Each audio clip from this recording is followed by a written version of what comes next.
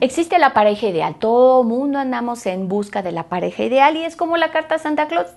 Y yo te digo, ¿qué quieres tú de tu pareja ideal? Seguramente me vas a hacer una gran lista de todo lo que esa mujer va a hacer por ti.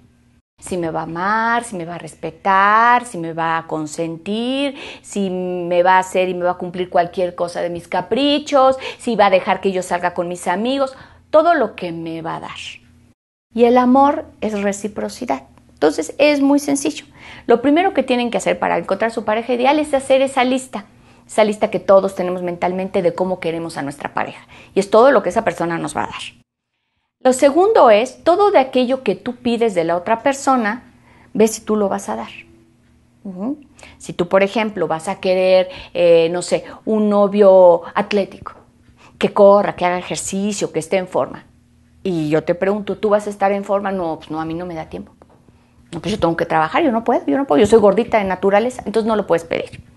Si tú vas a pedir un hombre que quieres que siempre esté en casa, contento, cuidando a la familia, ¿tú lo vas a dar o tú no? No, yo no. No, porque yo soy una mujer, yo soy pata de perro y yo me tengo que salir, yo no puedo, entonces no lo puedes pedir. Entonces tienes que ir viendo toda esa lista que tú pides si tú lo vas a dar. Eso te va a dar una tercera lista donde seguramente se va a reducir porque mucho de lo que tú pides no lo vas a dar. Entonces, la cuarta es que de lo que tú pides tú tienes que cambiar en ti para que también te lo den. Entonces la propuesta es que tú primero te conviertas en la pareja ideal para que después salgas a buscarla.